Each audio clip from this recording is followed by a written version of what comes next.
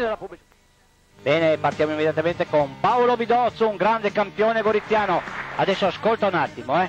Ha vinto anche sei campionati italiani dilettanti, due campionati mondiali dilettanti, un argento europeo dilettanti, l'oro ai giochi del Mediterraneo, un guanto d'oro per una manifestazione straordinariamente suggestiva a New York.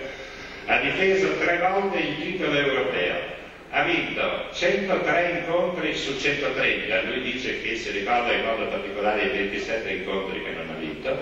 E da professionista invece ha vinto 21 eh, incontri su 23. Grandissimo personaggio, noi lo vogliamo ricordare così. Vero Cesare? Esatto, Non ciao che- Paolone. Ecco, non che ha perso adesso. A me- io lo ricordo come grande personaggio. Senti, Il Giovanotti di Gorizia. eh? Veramente. Stage in gazzetta. No, ti dici? Ho fatto una scaramanzia perché prima che un match d'altro non mettevo mai la barba, no? Allora, Allora manca da 10-15 giorni, fra un po' comincio a tagliarla. ah, questo, adesso abbiamo capito allora perché ti se lasci la barba. Ma pensa quando finirò le batter, verrò fuori col barbone così. Però guarda che non ti sta mica male, eh?